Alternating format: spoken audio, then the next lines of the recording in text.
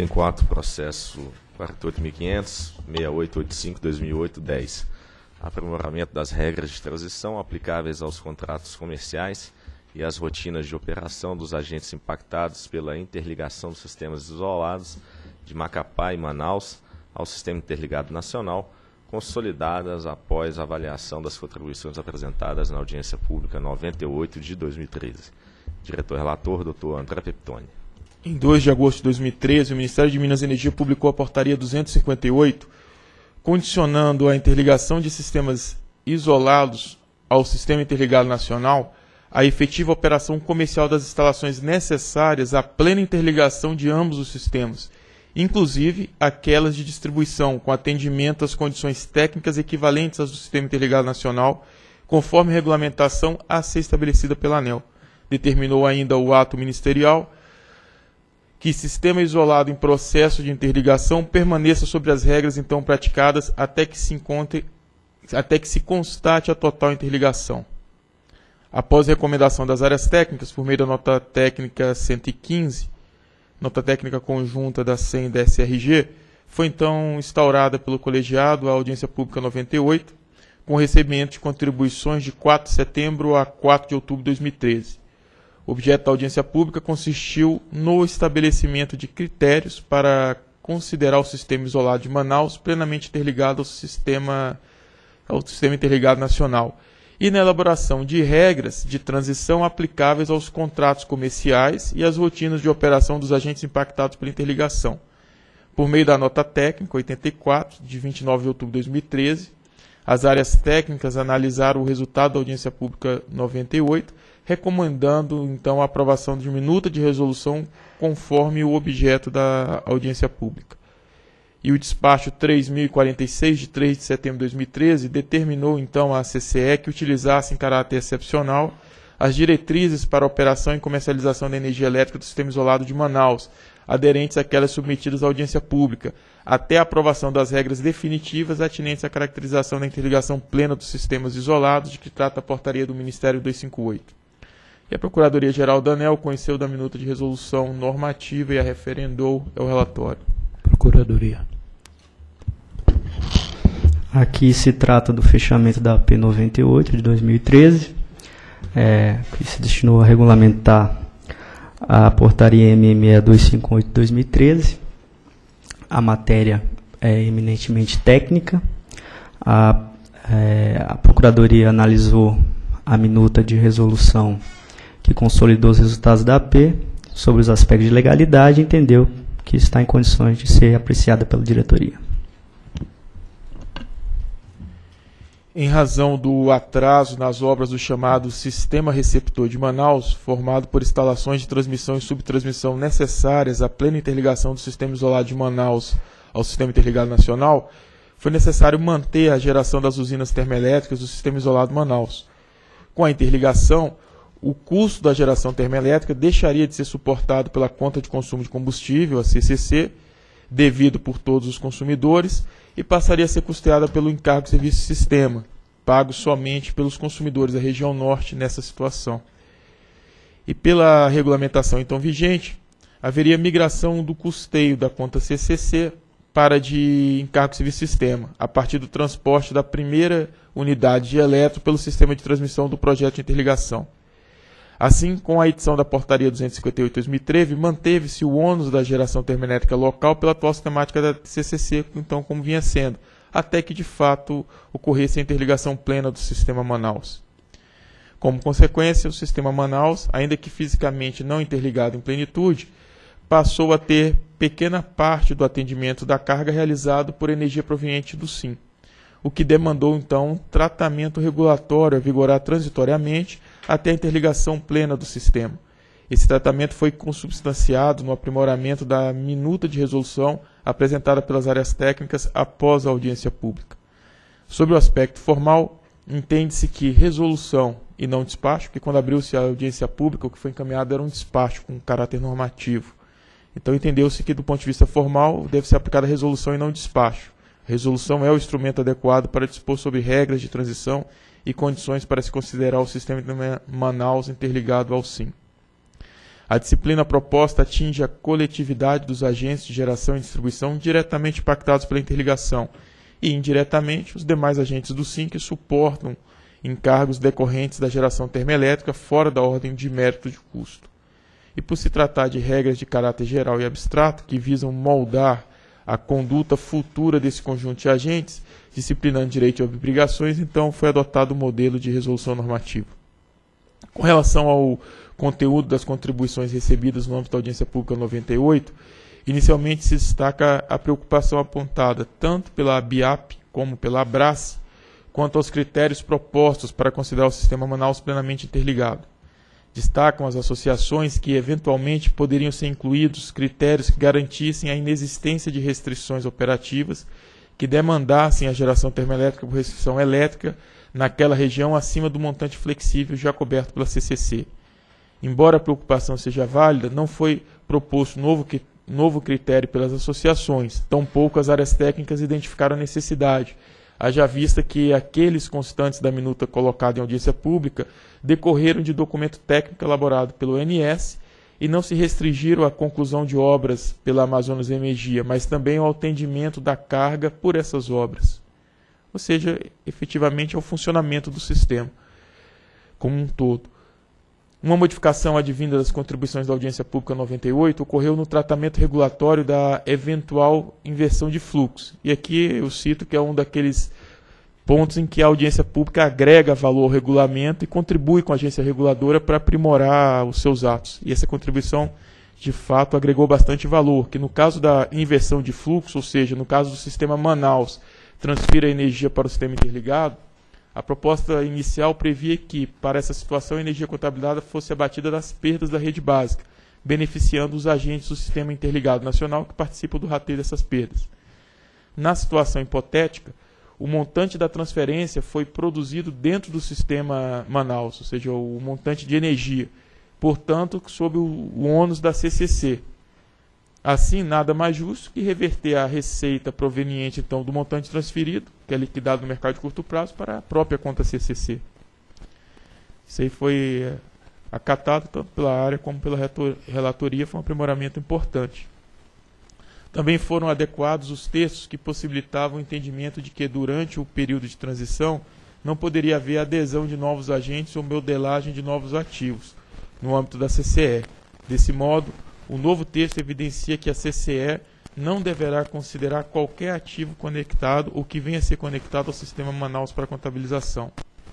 Tal dispositivo impede a contabilização desses ativos, mas não impossibilita os processos de adesão de novos agentes e modelagem de novos ativos, haja vista que a continuidade desse processo é importante no contexto pós-interligação.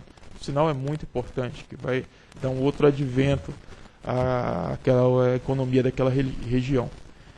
Passa-se a análise da individualidade de cumprimento ao item A do anexo 2 da minuta de despacho colocada em audiência pública, que trata do encaminhamento pela Amazonas Energia CCE dos dados de medição da subestação Lexuga. Na proposta, pretendia-se utilizar a medição operacional da concessionária de transmissão responsável pela subestação Lexuga para contabilizar o montante de energia transferido do Sistema Interligado Nacional para Manaus. Haja vista, não existiu no ponto de interligação medição dentro dos padrões do SMF da CCE. A CCE, porém, identificou no processo de contabilização ocorrido após a integração física de Manaus ser inviável a utilização dessa medição para a contabilização da energia. Assim, sugeriu, por meio da correspondência 2657, a utilização do cálculo baseado em pontos de medição de consumo e carga com SMFs já mapeados no sistema Manaus. E conforme pontuar as áreas técnicas, o cálculo proposto pela CCE é estimado, pois não considera as perdas do sistema após a subestação Lexuga. É, contudo, a informação viável de ser obtida pela CCE e mais precisa para ser utilizada de forma transitória. Portanto, é consensual a necessidade de utilização transitória dessa estimativa, por se tratar de situação a ser regulada com prazo definido para a produção de efeitos. Ressalta-se, contudo, que a CCE já vem utilizando essa estimativa para a, para a contabilização desde 9 de julho último, quando ocorreu a primeira transferência de energia do Sistema Interligado Nacional para Manaus. para o sistema lá isolado de Manaus, que deixa de ser isolado. A adoção da prática contrariou o estabelecido então no despacho 3046 de 2013, emanado da diretoria da ANEL, que determinou a utilização das diretrizes para operação e comercialização de energia elétrica no sistema Manaus submetidos à audiência pública. Registra-se, porém, que a CCE adotou solução diversa, fundamentada na inviabilidade técnica da solução inicialmente autorizada. Destaca-se que o cálculo agora proposto já fora sugerido pela CCE antes da abertura da audiência pública, conforme a correspondência 2172 de 13 de agosto, e que somente não foi proposto no âmbito da P porque as áreas técnicas, previamente consultando o ONS, optaram por propor a solução de medição operacional que posteriormente não se mostrou execuível, ou seja, não foi operacional. Feitas essas observações, pontua-se que a diretriz utilizada pela CCE para a contabilização de energia transferida para o SIM na contabilização de julho, agosto e setembro, deve ser convalidada pelo colegiado, que de fato, diante da análise feita pela SEM e pela SRG, era a, a medida execuível possível.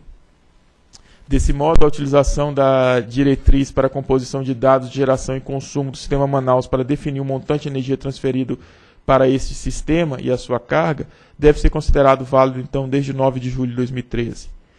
E no que concerne ao tratamento regulatório do uso das instalações de transmissão nos sistemas isolados de Manaus e Macapá, permanecem válidas as recomendações contidas nas notas técnicas conjuntas SRT SRG de número 137, que foram contempladas também pela nota técnica conjunta SRT SRG de número 203, que foi submetida à audiência pública.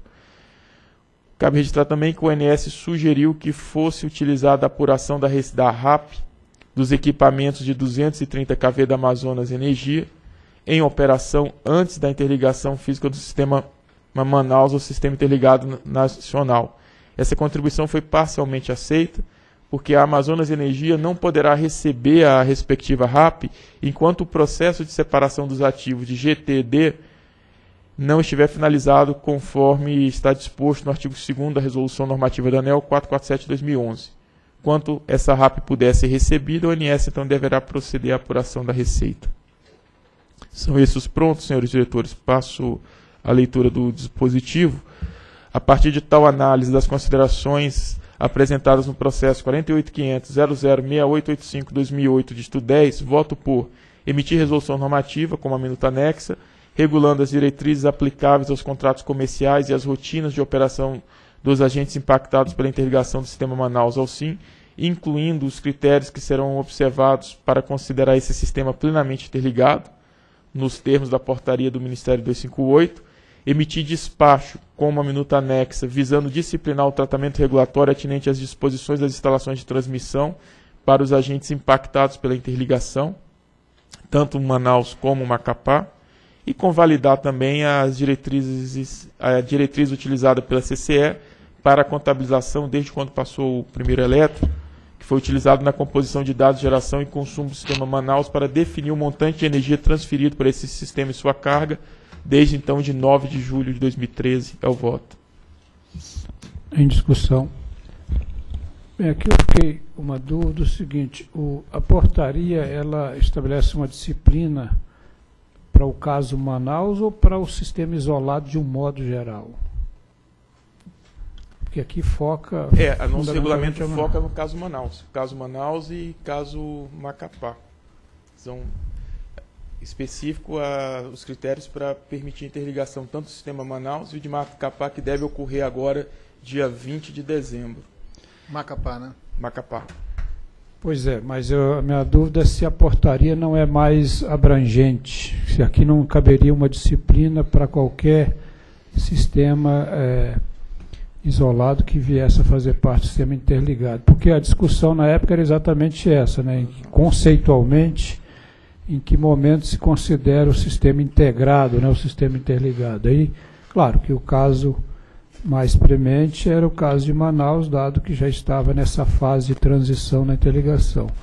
Mas uh, minha lembrança era que isso era uma, uma disciplina, uma diretriz para o processo de modo geral. Aí a dúvida é essa, se aqui caberia já criar essa disciplina de âmbito mais abrangente ou focando o caso de Manaus e o caso de Macapá também.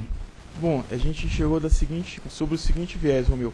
A portaria ela trouxe o conceito de que o sistema só é declarado interligado não apenas quando houver a interligação física, mas sim quando funciona em toda a sua plenitude. Ou seja, quando de fato, no caso Manaus, os 900 megas do sistema interligado possa ser recepcionado pelo sistema isolado de Manaus. Esse é o conceito que a portaria traz, já uma evolução importante no, no tratamento das interligações. Agora, cada sistema interligado tem suas especificidades. E aqui nós adentramos nas especificidades do sistema Manaus. Porque nós temos, se observar a, a minuta de resolução, está lá no artigo 2 que o sistema Manaus será considerado plenamente interligado quando? Aí nós temos as instalações inerentes ao sistema Manaus, que não valeria para todo o sistema, e seria pontual, respeitando esse conceito amplo. Então, nossa, resolu nossa resolução eles traz as características específicas dos sistemas que estão sendo interligados, no caso aqui o Manaus, dentro do conceito amplo da portaria do Ministério. É por isso que temos dificuldade de fazer uma resolução, que a resolução iria replicar o conceito amplo, que ou seja, ele só está interligado quando de fato estiver funcionando. Aí para funcionar a gente tem que entrar nas especificidades de cada sistema. E aqui entramos, adentramos no, no sistema Manaus. Aí tem dados relativos à subestação Lechuga, subestação Jorge Teixeira, Mauá 3 e essa seria a lógica para cada interligação. Agora, o principal é o conceito, que aí já é oriundo da portaria do Ministério de Minas e Energia, que, em que pese a linha de transmissão entre a operação comercial, se ela não estiver trazendo efetividade para o sistema, aquele sistema isolado não pode ser considerado interligado. Isso é importante diante do que nós observamos aqui nos processos tarifários, na, na, na condução da alocação de custo de energia. Porque não se pode, no caso específico de Manaus, considerá-lo interligado, pelo fato de ter uma linha de transmissão. Entretanto, operacionalmente, essa linha de transmissão não passa elétrico por restrições internas do sistema. Então, uma vez vencidas essas restrições internas, sim, será considerado interligado. Então, o nosso ato aqui é específico, vencendo essas restrições internas. Mas o conceito está na, amplo está na portaria do Ministério. É, talvez aqui o que precisa ficar atento, entendi que não dá para tratar genericamente, porque cada sistema tem as suas características próprias, mas é, é a orientação de que, com, a devida antecedência, porque aí já se sabe o sistema, é, se faça a disciplina para os demais casos que vier a fazer parte do sistema interligado, porque aqui nós acabamos tendo que convalidar algumas ações da própria CCE e a própria audiência pública, quando foi aberta, já implementando as medidas. Né? Então, claro que é uma situação emergencial que não deve se repetir em regime. Então, na medida em que cada sistema for é, se aproximando aí da fase de integração do sistema interligado, eu acho então que caberia fazer com a devida antecedência essa, essa, essa regra né, específica para cada sistema. Mas entendi que aqui não teria como fazer genericamente, porque tem cada sistema suas características. É, e o que você coloca é importante, que, ou seja, de fato seja respeitado a antecedência. Só que nesse caso, ele é precursor porque foi o, o caso Manaus que deu Sim. origem à portaria. Tanto é uhum. é que o sistema ele foi interligado primeiro, interligado não, passou-se o primeiro eletro em 9 de julho, e diante dos problemas operacionais que identificamos, a portaria do Ministério só foi editada em 2 de agosto mas agora trazido esse conceito para os casos futuros que se observe a devida antecedência, que é o desejável para a transparência do processo. E, e, outra dúvida que eu, que eu tenho, que é mais de forma, o Fred, se o item B aqui seria mesmo um despacho, não seria um, uma resolução? O, o, C talvez fosse mesmo. Não, mas... o, o, B de bola, Romeu, ah. ele é um, são dados atinentes à área da regulação da transmissão, é sobre os é, ela emitir despacho com minuto anexo e disciplinar o tratamento regulatório atinente à disponibilização das instalações. São prazos relativos ao, aos contratos que devem ser, ser firmados. Você está falando é o C, a convalidação? Não, estou falando o B mesmo. É, o B são. A norma está em duas tá em resoluções da ANEL, e aqui é só estabelecendo datas para que a, a Amazonas observe e a própria CEA observe. Então, talvez... então não é, uma, orient... não é uma, uma disciplina, tá certo? Já é a operacionalização da disciplina, por isso que o despacho a gente então, entende que é adequado. Então talvez o termo aqui não esteja adequado, que é visando disciplinar o tratamento regulatório. Não, então não é isso. Visando implementar, é, não é disciplinar. a disciplina já está na nossa resolução. Ser, aí é um regulamento. Está né? Então correto. Então tem que ser resolução. Vamos ajustar o disciplinar, mas não é disciplinar, é, é, é, é implementar o que já está disciplinado. Tá. Ok. Em, em votação. Voto com o relator. Também voto com o relator. Também voto com o relator. Proclamo então que a diretoria decidiu por é, aprovar a resolução regulamentando as diretrizes aplicáveis a contratos comerciais e às rotinas de operação dos agentes impactados pela interligação do sistema Manaus ao sistema interligado nacional, incluindo os critérios que serão observados para considerar esse sistema plenamente interligado, nos termos da portaria do Ministério de Minas e Energia 258-2013. Também emitir despacho visando é, definir a data né, do, do, do é, tinente à disponibilização das instalações de transmissão para o agentes impactado pela interligação do sistema isolado de Macapá e de Manaus ao Sistema Interligado Nacional e convalidar a diretriz utilizada pela CCE para a contabilização, utilizando a composição de dados de geração e consumo do sistema Manaus para definir o montante de energia transferido para este sistema e a sua carga desde 9 de julho de 2013. Próximo item.